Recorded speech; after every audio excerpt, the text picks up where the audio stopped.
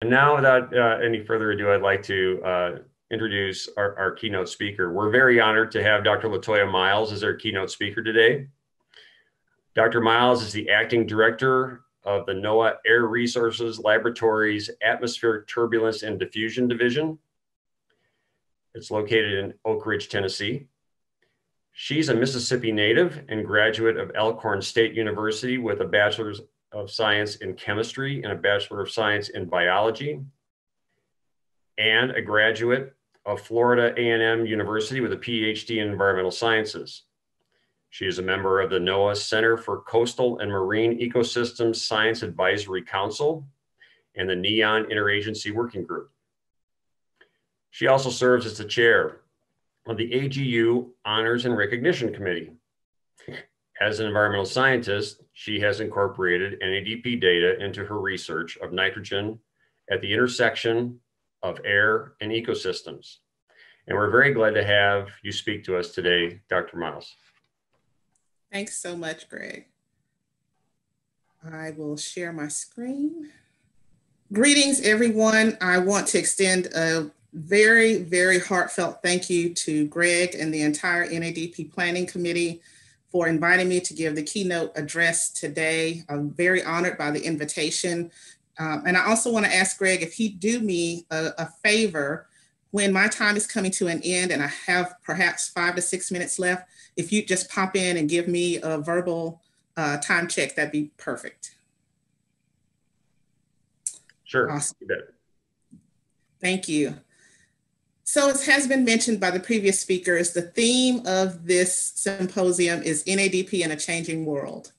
And when Greg first contacted me and we started exchanging messages about delivering this keynote address today, uh, the world and what I thought about uh, what a changing world meant was very different on February 18th than it is here at the end of October 2020. And I don't think Greg nor I nor any of us participating today had any idea of just how much change we would all experience over the last few months. Uh, change on a global scale has been absolutely unprecedented this year. And I'd like to share some of my thoughts about atmospheric research in light of the changes we've seen, and also in thinking about some of the changes we may be experiencing uh, in the next year or two or five or 10. And then I'll also, in the last half of this presentation, talk a little bit about some of the work that's ongoing with some of my ARL colleagues, uh, particularly those in the office where I'm now serving as acting director, which is ATDD uh, in Oak Ridge, Tennessee. So when we talk about change, can we just honestly say that change is hard but it's been even harder in 2020. I think, again, we've been in such an unprecedented time where even the items that we thought were immutable have changed on a dime this year. And as global citizens, we really had to think about the change and how that has affected us professionally as well as personally, altering how and when and even where we go to work and how we conduct our science, how we collect our samples, how we engineer our sites, just every aspect of the scientific enterprise has been touched by the global pandemic this year. Uh, and while there are innumerable ways that we could think about this, when I started making notes about what I wanted to share today, I thought about three large bins that I could kind of place this change into. One was a changing environment. The next is a changing community and then also changing technology. And I think this quote that's attributed to Darwin really speaks to the fact that we've all had to be nimble and flexible and quite frankly, very patient as scientists and engineers and policymakers and, and um, stakeholders this year. Uh, but we've continued to bring that patience and that nimbleness forward as we are advancing our science to the greatest extent possible. So being adaptable will not only help us survive, but also help us thrive.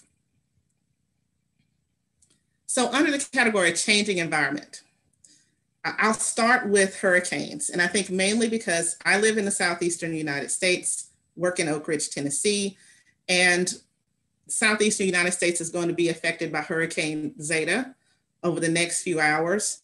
And Zeta is our 27th named storm this year. And when we think about Zeta, we think about the cumulative impact of hurricanes. This is just an image showing some of the hurricane tracks going back many, many years on both the Pacific and the Atlantic. But an average hurricane season produces 12 named storms. Six of those are considered to be hurricanes. Three of those six will be major. Well, 2020 has been extremely active to say the least. And we still have a month to go before hurricane season ends. And as we think about the impact of hurricanes on the atmospheric environment uh, that we study, that impact can't be underestimated. We have to consider the frequency and the severity of all of these storms in planning of where we locate our sites, how we conduct our process studies, uh, what types of instrumentation we're deploying at these sites. Are they rugged?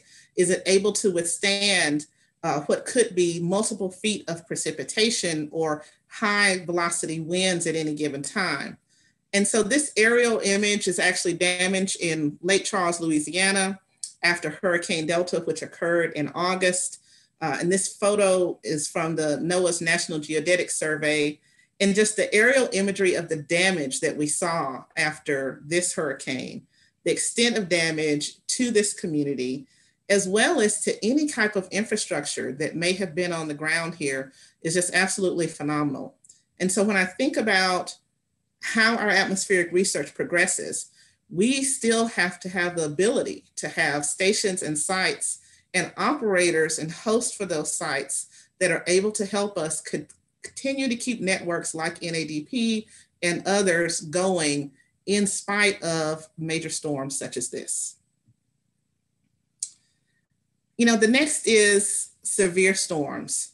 And, and severe storms take many forms and they've been widespread and destructive. And when you think about the straight line winds that hit central Iowa back in August, I think you know we will all agree that this storm uh, really fits that definition of severe.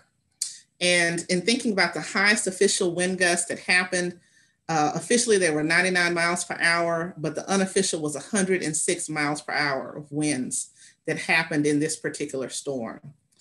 But you know, here's a photo of some grain bins and the damage that came from this derecho.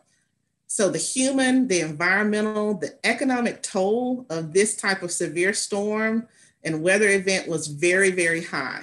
Uh, over $7.5 billion of damage by NOAA's estimate right now, which makes this storm the fourth most expensive storm that the US has experienced since 1980.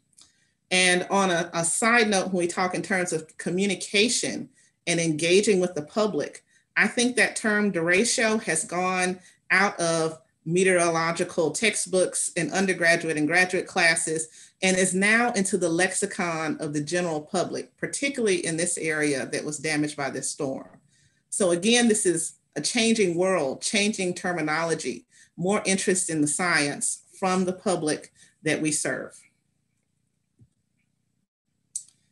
And of course, being with NOAA, I couldn't talk about a changing environment if I didn't talk a little bit about coastal, coastal flooding and inundation. It's been a major concern. Here's a coastal inundation dashboard developed by NOAA that's looking at over 200 water level stations. And they've been merged into this online tool that individuals can use in order to monitor and prepare for flooding events in their various communities.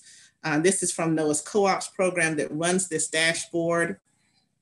And then here's a photo from Charleston, South Carolina during a high tide event that was not even connected to a storm. This was a storm free day, but still a high tide event that's flooding this community. And the pace of tidal flooding, we know from the data, is accelerating not only in Charleston, but in coastal cities around the country and even around the world. And we need scientific information in order to be able to address phenomena like this so that we can inform mitigation strategies, so that we can help local folks on the ground be able to plan for events like this. And then of course, land cover. So when we think about land cover, This is an image from NOAA's Land Cover Atlas. It's a free online tool again, where you can zoom in on coastal counties. And you can see here, uh, this is Miami-Dade County and how land cover is changing over time in this particular area. So in this tool, we have 29 states that are fronting the oceans as well as the Great Lakes that are included here where you can look at them. And some analysis shown between 1996 and 2011, there were nearly 65,000 square miles of coastal region that experienced land cover change. Talk about dramatic, widespread spatial change, uh, including declines in wetlands and deforestation. Uh, and what's the major contributing factor to that? Of course, it's development, it's the built environment. So overall, when we think about that, 8.2% of our coastal regions on the oceans and the Great Lakes has experienced some of these changes. Uh, there's a five-year period in the early 2000s that accounted for 43% of our land cover change across the entire continental United States. And so when we think about taking measurements and being able to make environmental predictions, these are some of the changing variable conditions that we have to contend with, with both our observations as well as our modeling activities. And then of course, wildfires.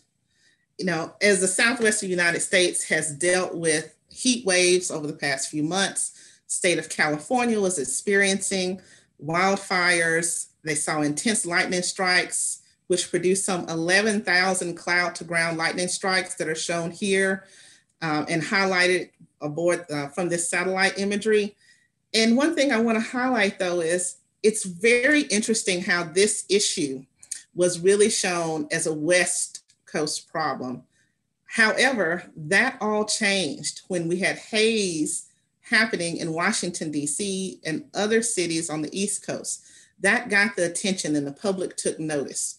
And so, one of the things I have said frequently when I make presentations is the atmosphere doesn't respect state nor country boundaries uh, we are all affected by the events that happen and the emissions that occur in other states and other countries. It, it's become sort of a common.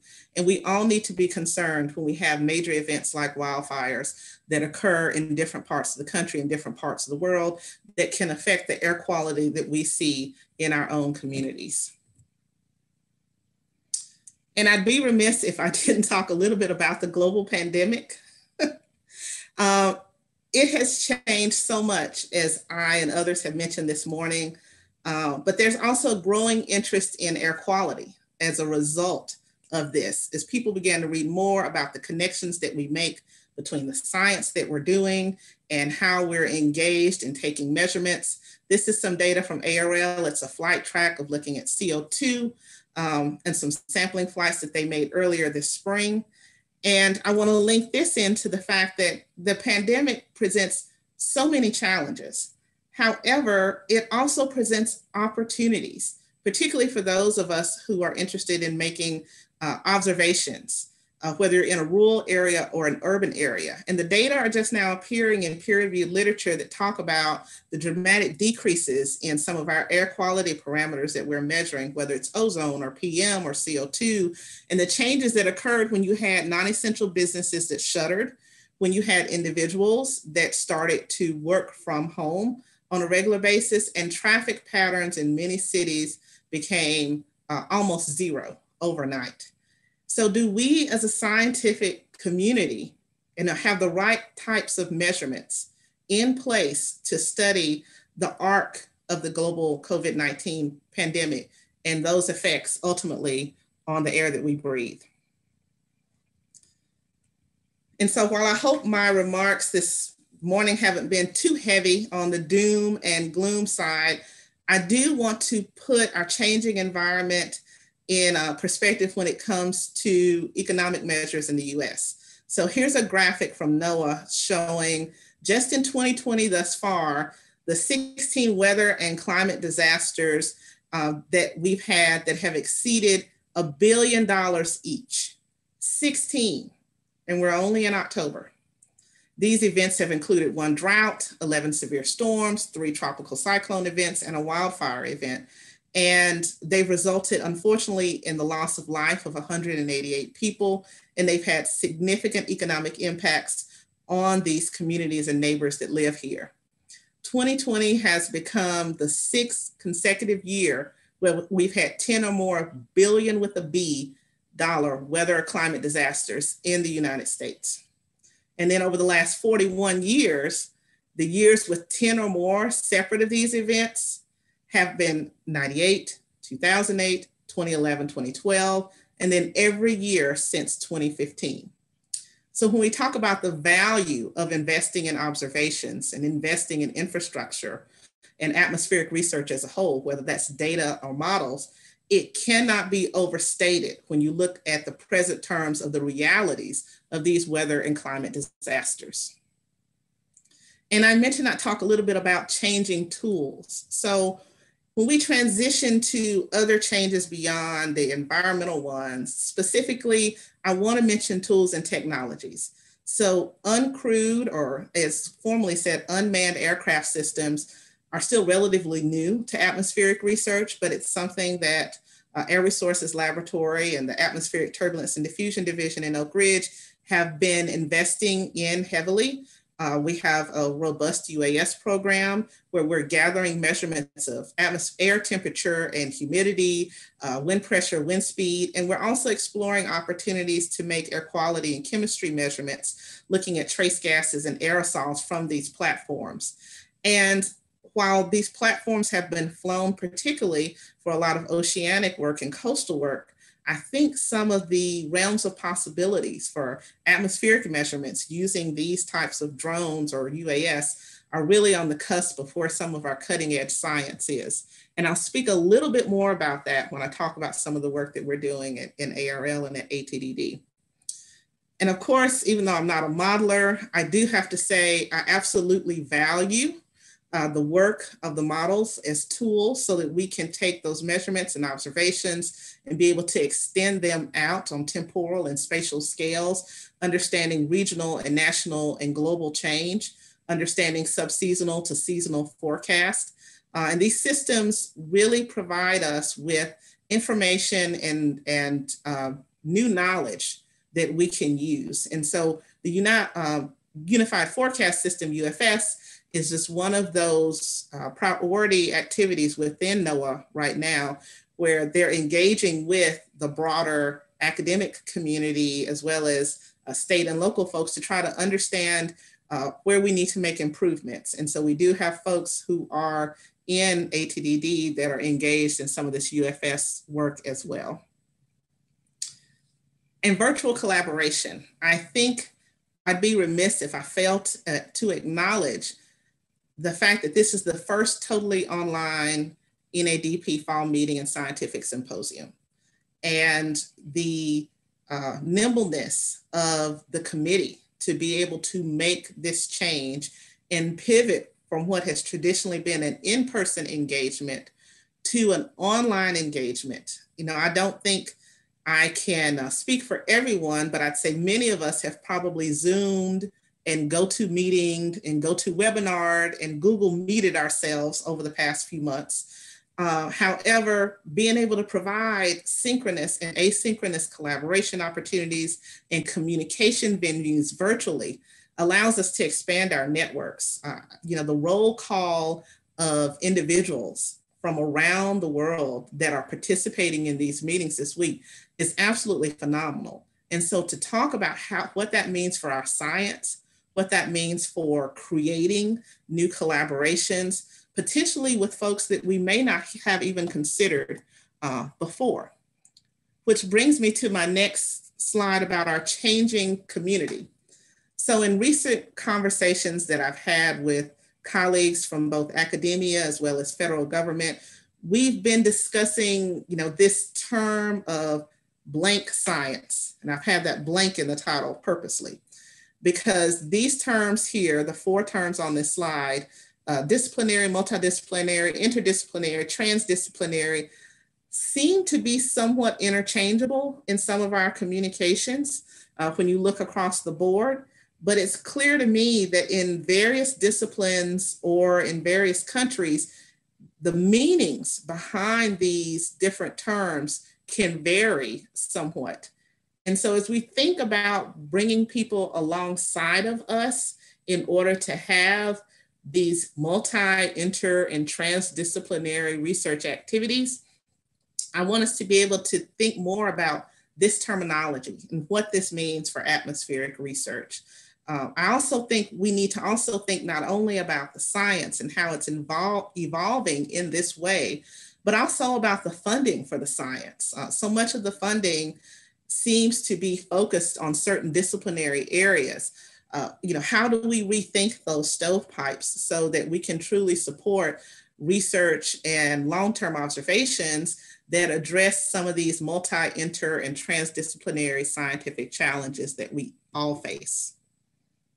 And of course, changing community, social sciences. And I've seen this bubble up through my career where the geosciences and environmental sciences have uh, really started to embrace understanding the sociological aspects of the work we do and not just looking at the physical and biological pieces. And so, as we grow that relationship between atmospheric research and social sciences, uh, I think back to how AMS uh, several years ago started to formally recognize the fact that there are gains to the research that can be made when we start thinking about the clear and compelling need that we have to include social sciences so that we can understand how individuals and society are using the data that we collect. How are they putting that into their own knowledge banks so they can inform their own decisions? Uh, and then we also need to think about dissemination of that information and how we're sharing information in ways that are actually useful for the decision makers and the stakeholders in our various communities so that they can be prepared or mitigate for the various environmental challenges and changes that are ahead. And then inclusion and equity. I think when we talk about the changing atmospheric research community, we'd be remiss if we didn't address inclusion and equity, particularly at the point, not only in the US, but in several countries around the world, where we've had some civic and social unrest in 2020 when we look at the fact of we've had just decades and decades of underrepresentation of women and African Americans and Indigenous peoples and Latinos and Latinas in our field, uh, we have to be able to confront that. And how do we address that in a systematic way so that all of these voices from these different communities and groups can be a part of moving atmospheric sciences forward? So I know that there are long-term advocates who have been working in these areas to address some of the concerns over years, and we thank them for their leadership. But I think what we see now is that organizations and individuals are moving from discussing a lot of these problems to actually addressing how do we move the needle on some of these inclusion and equity concerns. So knowledge is power. Now that we know we have this, we recognize this, how do we move so we have representative voices at the table as we are developing plans?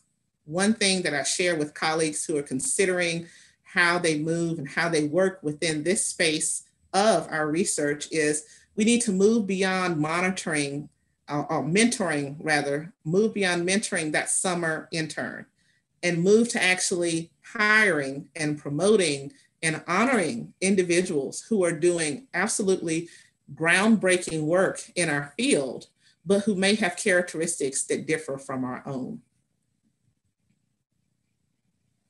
So in terms of NADP, you know, understanding the spatial and temporal trends can help our scientific community address changes in the environment, changes in tools and technology, changes in community.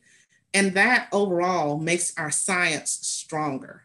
And that's the case for looking at the opportunities that come from changing environments, difficult situations, pandemic, wildfires, hurricanes, uh, civic unrest, new tools and technologies. How do we bring all of those opportunities to bear so that we can advance the science, not only now, but 5, 10, 20, and 50 years into the future?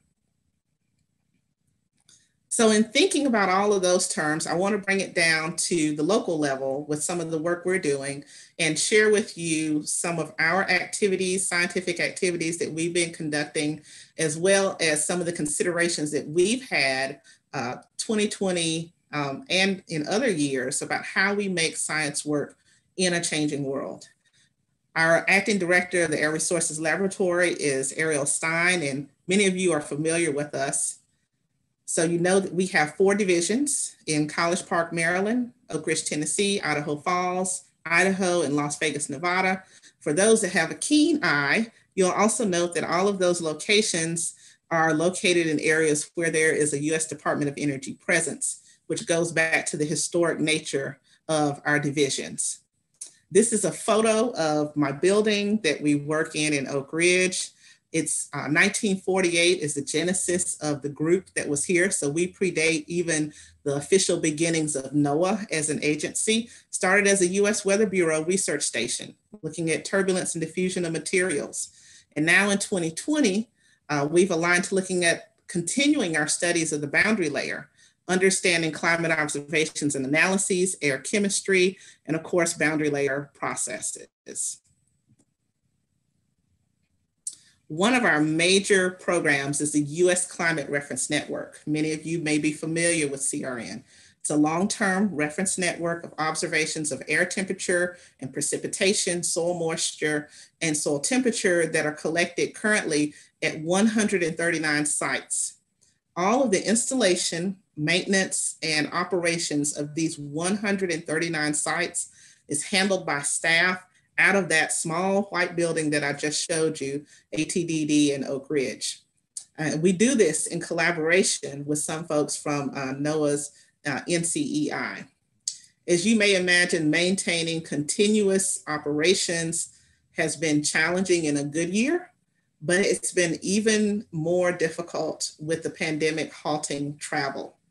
So our team has had to be very creative in how we continue to approach maintenance, given that they cannot physically travel to provide maintenance at these sites. So we rely even more now on our site host, uh, those individuals like those that were honored by Greg and his slide on awards. We have individuals we work at at many of these sites who have stepped up to the plate for us in order to help us troubleshoot and maintain several of our sites in CRN, given that our staff are unable to travel.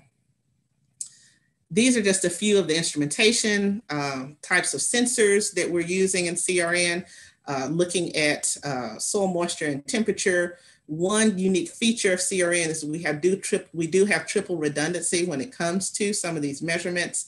Uh, and on the next four slides, I'll just show you an example of some of the sites that we have, particularly those that are really picturesque. So here's our site at Grand Teton National Park in Wyoming. Again, uh, as, as with some of the NADP sites, it's just a beautiful background uh, and a lovely place to work. And then we have places like Muleshoe, Texas, which most of us have probably never visited, but just a lovely grassland site. And while our team was out providing maintenance at the site, beautiful rainbow appeared.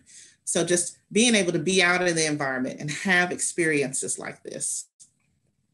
And then Utqiagvik, formerly known as Barrow, Alaska, presents some interesting working conditions when you're trying to get out and maintain sites as well in CRN. Denali National Park and Preserve. Uh, and one thing that we you know, think about when we come to our work in Alaska and expanding CRN's footprint in Alaska, we currently have 23 sites installed, but our long-term goal is to have even 29 or 30 sites. And I like to show this photo of Ruby, Alaska, because when I talk about creativity when it comes to atmospheric research, the engineers who work with CRN have to be creative because you're accessing sites like this one at Ruby uh, and installing scientific equipment in a really remote location. It's not for the faint of heart. So you're relying on things like float planes and spray canisters of bear deterrent and mosquito suits. They are part and parcel of the work that these engineers and technicians do in order to help us collect this all important data for this network. And then CRN also is branching out into other areas, and it's used by some of our scientists in order to develop four kilometer daily updating gridded soil moisture products over the CONUS. And so they're using CRN soil and vegetation property data from some of our sites in order to develop these gridded data sets. Uh, and then PRISM is used to, is compared to the CRN data. And as you see here, some of the individual events were captured well. However, over the long term, there was really no overall divergence. And we've got scientists who are still working to incorporate that CRN data and, and look at these different activities as well. So when it comes to surface energy budget and thinking about the boundary layer, we have a long history of doing this type of work uh, in our office in Oak Ridge and looking at what happens with the energy budget from the bedrock into the boundary layer and trying to understand the physical and chemical processes uh, so that we can improve our subseasonal to seasonal forecast. And that all happens in our Surface Energy Budget Network or SBEN program, SEBN program, where we're monitoring climate and we're also looking at uh, surface atmosphere exchange of water and energy and carbon and how that relates to land surfaces and ecosystems. And so this is a wonderful picture of the tower. It's a 60 meter tower that we operate at Chestnut Ridge, which is not far from our office in East Tennessee. And you'll see we have it instrumented with sensors at various heights on this tower throughout the canopy so that we can have a better understanding of some of the variability that happens not only within the canopy, but exchange between the canopy and the atmosphere just above. And I mentioned drones and UAS work. These are photos of some of our small fleet of uncrewed aircraft systems that we have. You'll see our team out here launching and conducting uh, work on some of these systems. We're using them to measure meteorological variables and atmospheric constituents. We've participated in several large field studies in order to use these drones to make measurements and this is just an example of some of the fleet that we have. In the past five years, our team has completed over 520 flights. Uh, if you if you'll look here, especially at the payload capacity, we do uh, use this payload capacity to determine the types and the amount of sensors that we can carry on each of these individual uh, platforms for our various measurement studies. And perhaps I can get this this little short video to load.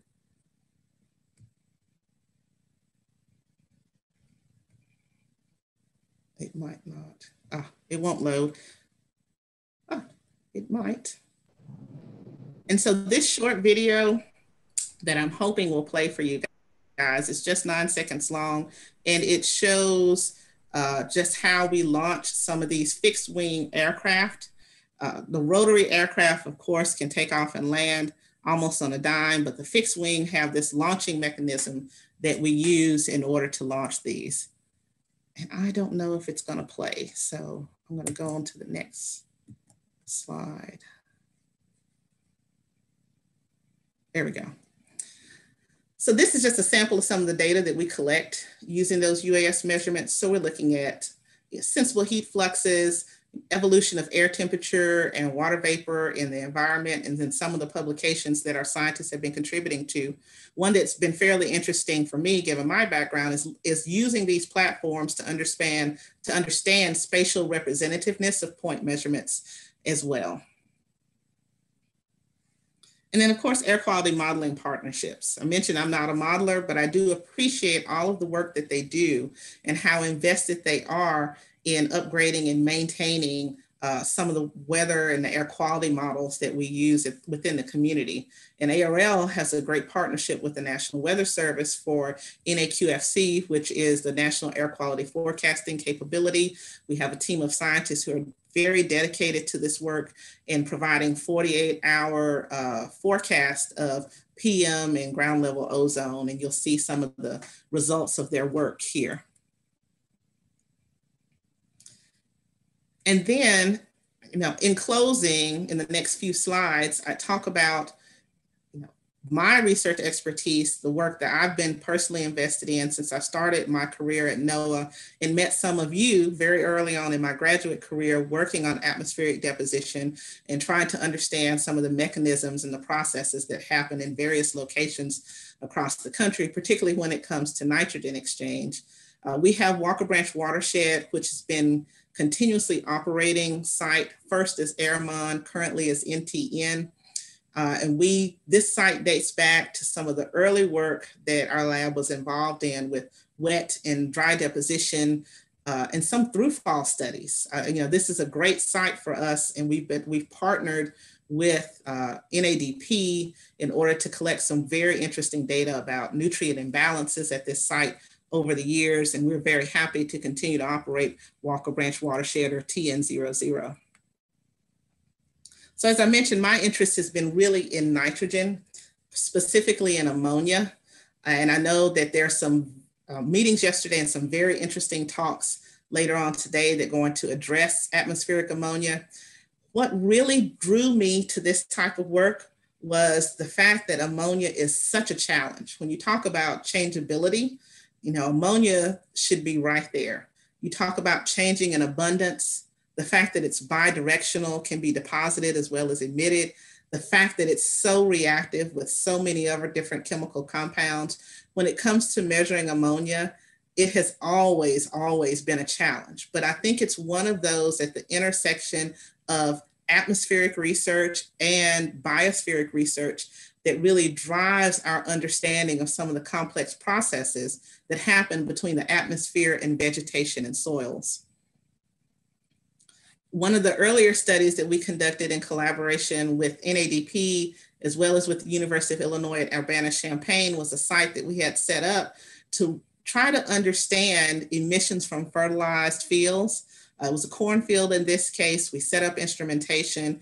We had a wonderful team of not only NOAA and Oak Ridge Associated University staff, but as well as some summer interns um, and postdocs who were engaged in helping us try to understand ammonia emission from fertilizer application, and the input into air quality models. And, and, this is just a snapshot of some of the data that we collected with a flux gradient system co-located with a relaxed eddy accumulation system, and then some of the modeling work that we used with the SURF ATM model in order to understand the flux that was simulated uh, from that model, and then the effects of an inhibitor that was inherent into the fertilizer and how that affected the amount of ammonia that was volatilized from the fertilized field. So while I've done quite a bit of work in looking at agricultural ecosystems, uh, as well as grassland ecosystems over my time with NOAA, one of the things that's always intrigued me has been coastal ecosystems and trying to understand and apply what we've learned in relatively flat, homogeneous environments to something that's very complex. And again, I like ammonia because it's a difficult challenge. If you take ammonia and you couple it with a coastal wetland, you've just got difficulty multiplied by 10 or 20 or 100. But it makes such an interesting challenge because so much of the drivers, when we start looking at um, biogeo, bio, uh, biogeochemistry and cycling, happen at the margins in these coastal areas where you're transitioning from land to ocean and being able to understand the variability of chemical constituents like ammonia in these areas is so critical. This is just a photo of a study we did in collaboration with the NOAA National Estuarine Research Reserves and University of Delaware uh, in NADP, where we had a um, some ammonia monitoring going on, with the RIA system, the flux system, and then we also had some passive samplers that we deployed. And the chart here just shows just how much the variation was and that occurred in the ammonia concentration over time, uh, as well as passive samplers uh, plotted on top of that. And so this, this intersectionality of research is really where I see a lot of this work going. It is very challenging, not only from a scientific perspective, but an engineering perspective as well, uh, in trying to build equipment and sensors that can operate in highly humid, very warm temperatures and still give us accurate measurements as well. And so as we move into 2020 and beyond, particularly with the research that I'll be conducting, you know, this is the area where we're looking to work. And we hope to have some measurements if travel is allowed again and, and we're all in a better place in 2021, uh, some additional coastal wetland measurements for some of the nitrogen species as well. And so to kind of bring this all back around, when we talk about changing environment, changing tools and technology, and changing community, to me, the bedrock of that is you have to have observations. We need short and long-term observations. We need observations in rural areas, suburban areas, urban areas. We need observations of not only meteorology, but also atmospheric chemistry, soil parameters. We need to bring, bring to bear on some of these challenges and problems just a full suite of observations. And while I know funding is always a challenge when it comes to having, you know, very well instrumented sites, I think if we start thinking about that multi and trans and interdisciplinary research, we'll be able to perhaps make some forward motion in that arena as well as model development. The models are changing so rapidly. When you think about FV3 and UFS and just some of the advances that are happening, uh, it, it's really amazing from where we were 10 or 20 years ago. And then automation and virtual connections. We have an opportunity to use tools, communication tools, in order to find some solutions to some of our problems, maybe to reach out to new collaborators and expand our network so that we can have uh, more interdisciplinary uh, teams to address some of these major environmental challenges that we're facing. And of course, partner engagement and collaboration is always key if we're going to move forward with a lot of this work.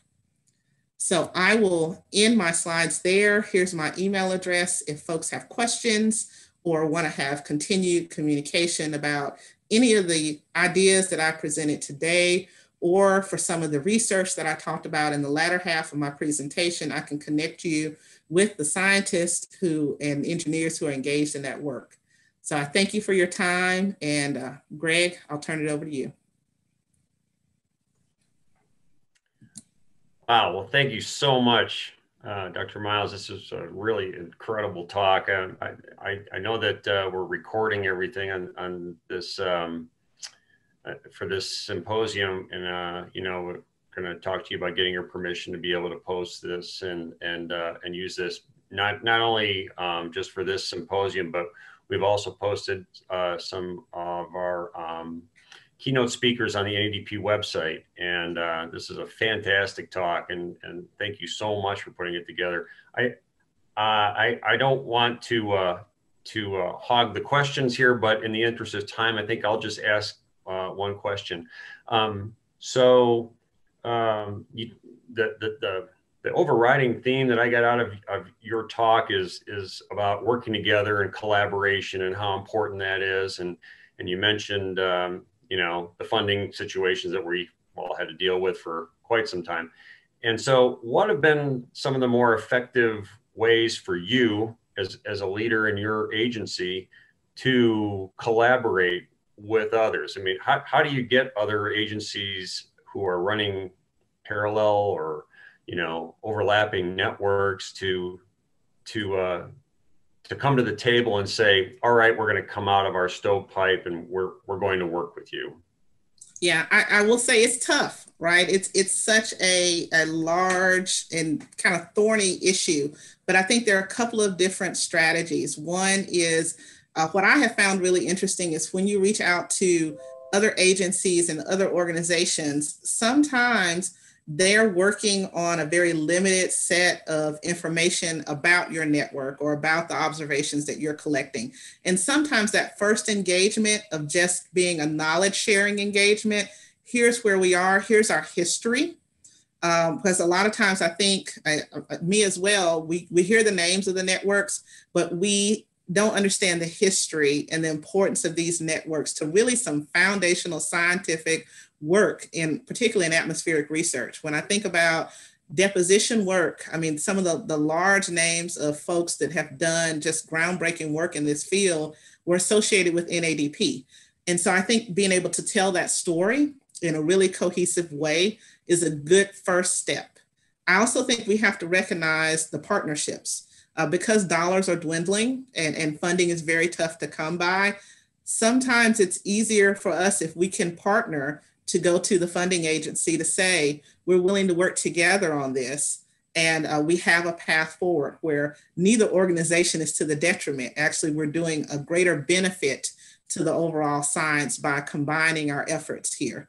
Uh, and then finally, I think one of the things is patience. I hate to say that given that, but just with what I've seen with previously and then as well as in 2020, uh, there's just a lot of hesitancy right now to fund new things because of the uncertainty of, of everything, of travel, of uh, honestly viability of some people's uh, programs. And so I think now is the time for us as a collective community to be able to develop our plans and our communication strategies so that when we get through this period of pandemic, we'll be better positioned to be able to go after those funding opportunities. Boy, well said. Thank you so much. Uh, I re- again really appreciate you being here and, and uh, taking the time uh, to be with us. And and and uh, uh, your presentation was fantastic. And we'll be we'll be in touch with you about um, posting that so that others can can see it uh, for a long time. Absolutely. Thank you so much. I Thank you, Dr. Myles.